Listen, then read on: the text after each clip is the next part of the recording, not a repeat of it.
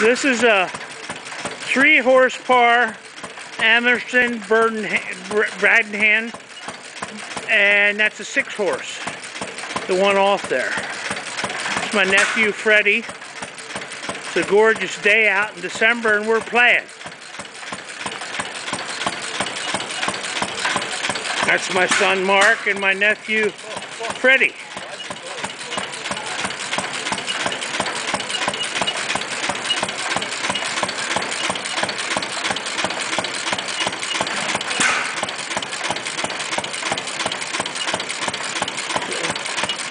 Go around the other side, guys, so we can see the engine.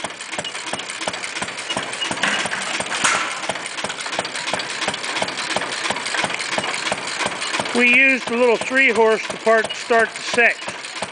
You have to get them started, then you can turn them over pretty easy.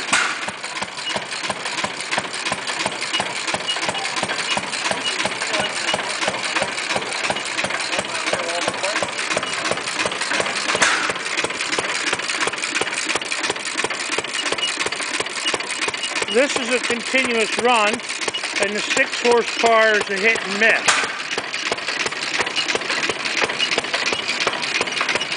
Pretty cool stuff, really.